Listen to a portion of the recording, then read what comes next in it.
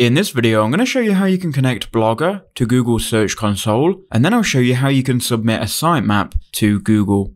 So first what you want to do is go to Blogger and make sure you're on the blog that you want to connect to Google Search Console. Then you want to go to Google and just type in Google Search Console and it should be the first one here. We just want to go ahead and then click on Start Now. Now there are multiple ways that you can connect to your Blogger website.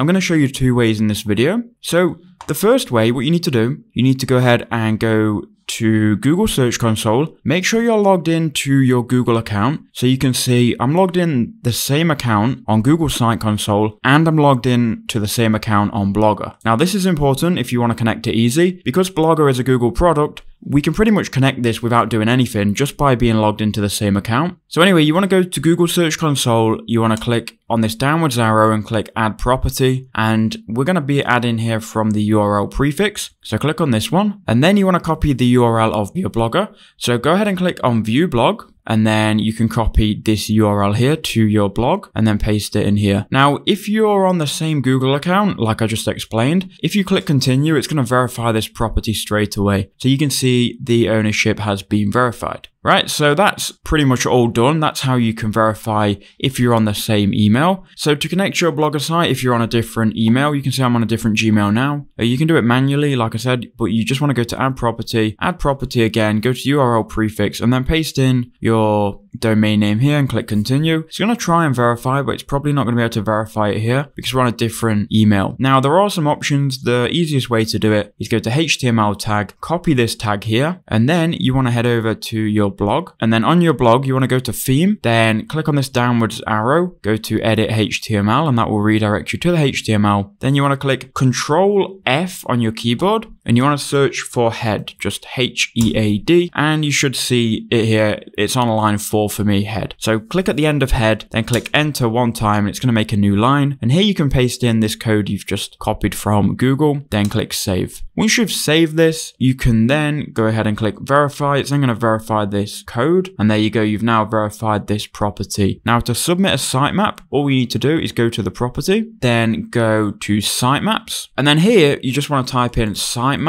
.xml and then click submit. That's going to submit the sitemap. Google automatically creates a sitemap, right? So we've now submitted this sitemap. If you just go here and type in slash sitemap.xml, you can see here is the sitemap that Google automatically creates. So that's how you can connect your Blogger website to Google Search Console and then submit a sitemap.